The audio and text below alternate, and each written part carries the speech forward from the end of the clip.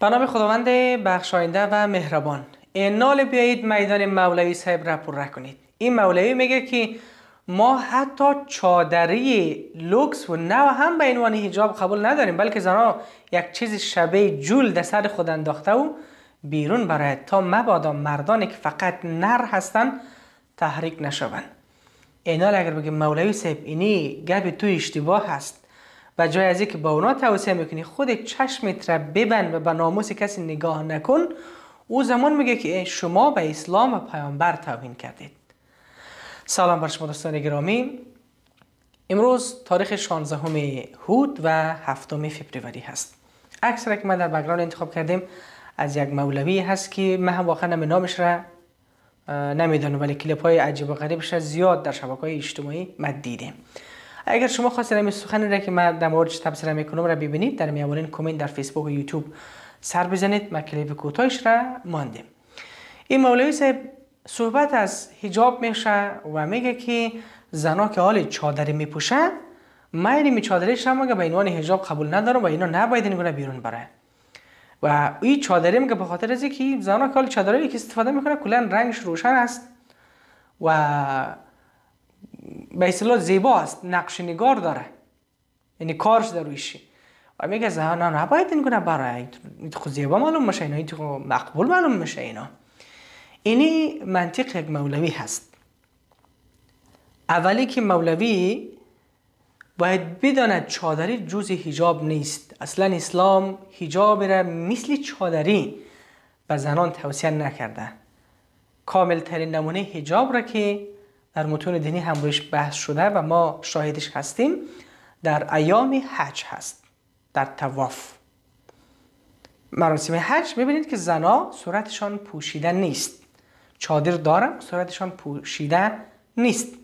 ولی در افغانستان طالبا حالا آمده چادری را که فقط هم فرهنگ قبیله خودشان هم نیستن شاید یک بخش از قبیله باشه را بر کل مردم افغانستان تعمیل کرده و چند تا عالمی دیگه ای را که من نمیفهم یا عالما یا مفسید است یا واقعا عالم نیست یا اینکه واقعا به خاطر منافع شخصی خودشان به هر ساز میرقصن اعلام می‌کنه که حتی ما این چادری هم قبول نداریم. چادرشون باید نو نباشه رنگش زیبا نباشه گلگلی هم نباشه نقش نگار هم نداشته باشه.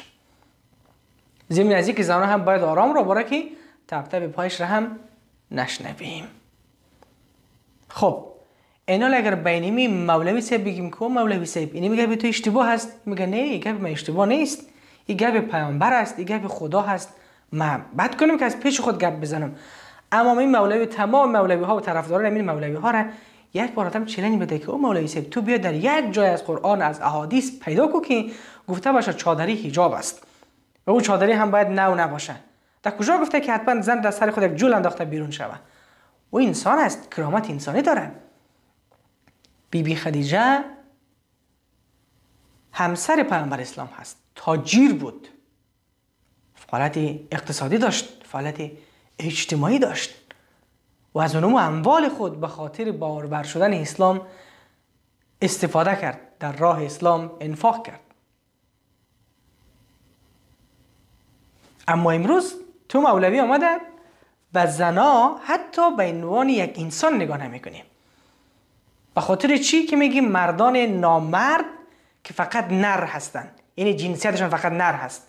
تحریک نشوند. تو اگر از اسلامی که در قرآن آمده و مردم افغانستان پیروش از صحبت می‌کنی همین اسلام به تو اجازه نمیده که تو به زن نگاه بکنی به زن مردم نگاه بکنی. تو باید چشمت ببندی وقتی که همسر یک کسی را می‌بینی دختر یک کسی را می‌بینی. تو غلط می‌کنی که به, به ناموس دیگران به چشم بد نگاه می‌کنی. آن وقت باز میگه که زنان باید این گونه نبراید چون ما تحریک میشیم. خب نگاه نکنید این مردم. این شد منطق که زن بیرون نبراید در خانه باشه که ما یعنی تحریک نشیم. متاسفانه یک دیدگاه بسیار زیشت نزد بسیاری از مردان بی سواد مثل ای آدم هست که حالا که سواد هم داره شاید برخیشان نمیفهم حالا به چه دلیلی این گونه حرف ها رو مطرح می‌کنن. در واقع به خاطر تبریک کردن خودشان هستن. تو چشم خودت نگه دار عزیز من. من نمیگم که کسی شهوت نداره یا ای که فقط شماها این گونه هستین دیگه مردا این گونه نیستن. هم زن هم مرد شهوت داره. و ایره هیچ کس هم نمی‌تونه این کار بکنه جز کسایی که استثناء هستن و مشکلاتی داره. اما دیگه اکثرت داره. و مولوی صاحب مولوی ها و پیروان مولوی هایی که این گونه کورکورانه زیر منبرهای اینا نشسته و نعره تکبیر سر میدین. شما به عنوان انسان به مادرتان نگاه کنید. به عنوان انسان به همسرتان نگاه کنید. به خواهرتان نگاه کنید. از دیگران تیر صدها نفر پای منبر نیمی آدمان نشسته زیر منبرشان میشینه نعره تکبیر هم سر میده. او هم ده حرف های نادرست این مولوی ها اینا اگر ما می‌بینیم موضوع رو مطرح می‌کنیم. خدا شاهد است. شما باز می‌تونید کامنت رو بخونید. یک غلام آدمای افراطی پیدا میشه. بگه تو در پیامبر توهین کردی؟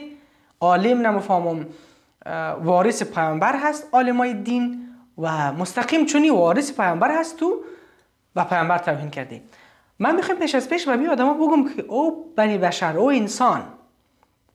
این مد نظر داشته باش که اینطور آدم را وارث پیامبرت نشمار. وقتی تو یک آدم مفسید یک آدم منافق را یک آدمی را که باعث تباهی جامعه میشه باعث نادیده گرفتن نصف جامعه میشه.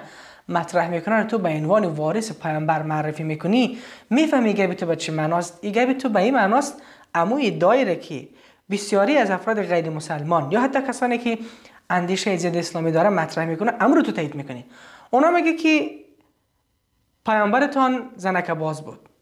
پیامبرتان ضدیت با انسانیت داشت. پیامبرتان ضدیت با زن داشت. پیامبرتان زن ستیز بود. پیامبرتان مرد سالار بود. پیامبرتان حقوق زنان را نادیده می‌گرفت. و اینی گپا رو تو تایید می‌کنی؟ در حالی که پیامبر من و تو این نبود. حداقل شناخته که من از پیامبر دارم به عنوان یک فرزند مسلمان که مادرم قاری قرآن بوده و پدرم هم عالم دین بوده چیز دیگری هست.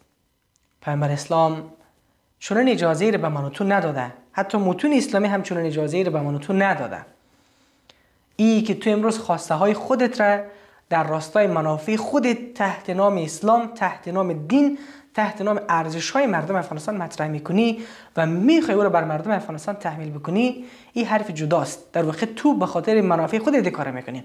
اما لطفا پای دین مردم فرهنگ ارزش ها رو پیش نکش. ارزش های مردم افغانستان در درون جامعه افغانستان هست. ارزش های افغانستان باورهای مردم افغانستان فرهنگ مردم افغانستان چیزی است که خود مردم می‌خواد به نمایش بگذاره. نه چیزی دیگه ای که یک ملای افراطی و بی سواد یا یک شانتا گروهی که در افغانستان حاکم شده بخواد بر مردم افغانستان تحمیل بکنه و بگه این چیزی که ما میگیم این هست. من امیدوار هستم که جلوی نیمیتر مولوی ها گرفته شوه و مردم کورکارانه است. هر کسی که خود مولوی گفت اطاعت نکنید. من یک نمونه ذکر می‌کنم. جاسوس انگلیس چهل سال در پول خشتی آمد. یا در یک جاهای دیگه ممکن خیلی اینطور پیش آمد. ملای مسجد بود جماعت داد. بعد از ده ها سال میره میگه که او مردم نمازه خرا سر بخوان من مسلمان اجنه بودم. همین کنه هستن. فقط یک نفر که لونکی زد ریش مان گفت من ملا هستم من مولوی هستم. دیگه ما میگیم وارث پیامبر دستش رو ببوس. هر غلطی کم که کرد میگیم الله اکبر. این توهین به شعور انسانی خودتان هست. این یعنی ما چقدر نادان هستیم؟ توی که همین گپا را گوش می‌کنه اگر مخالفت هم می‌کنیم من فقط میگم که به مادرت بینان چی نگاه می‌کنی؟ مادرت انسان هست یا نیست؟ مادرت حق نفس کشیدن داره یا نه؟ مادرت حق زندگی کردن داره یا نداره بسیاری از زنها همین لحظه شوقی هم نیست که به بیرون یا بازار برای از مجبوریت می‌بره. به خاطر سیر کردن شکم و فرزندش که یتیمش که طرف در افغانستان نانی برای خوردن ندارم متاسفانه. در دل زیاد است من زیاد گپ دوستان گرامی ببخشید دیگه. دل مو 3 4 دقیقه بیشتر نشه ولی خب این 9 دقیقه شد. اگر موافق بودین اشتراک بمونید خدا نگهدارتون باد